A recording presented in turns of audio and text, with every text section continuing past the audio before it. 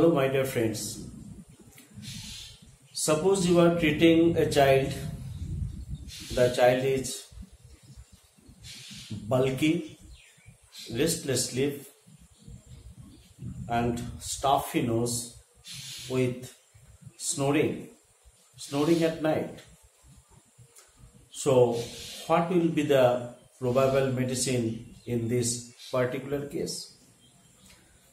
I think it will be under totality of symptom, under miasmatic prescription. You may tell me, but if I ask to you, what is the specific or near specific medicine for the particular snoring child or stuffy nose child?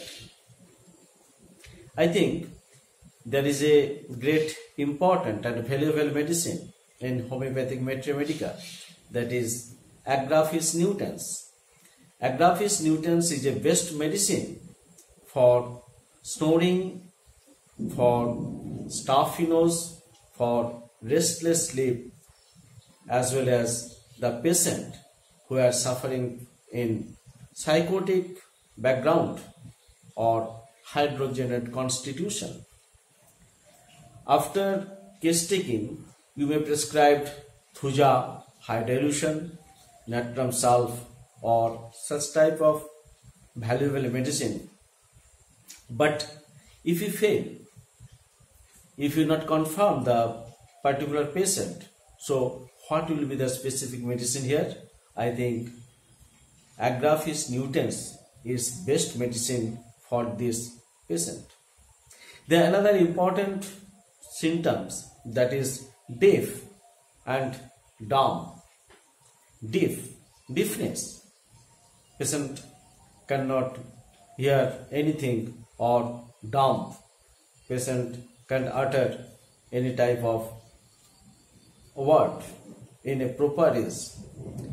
We are always thinking that there is a great relation between deafness and dumbness, but where there is no relation, that means where the mutism in childhood unconnected with deafness, there you may prescribe the medicine, the Agraphis nutans. The mother tincture is available in our market, the 30 potency, 200, even 1 M also available and I get several patients in childhood who they are who are enlarged adenoid and they required the adenectomy. I prescribed many times to avoid the medicine and get several interesting result in this medicine. Thank you.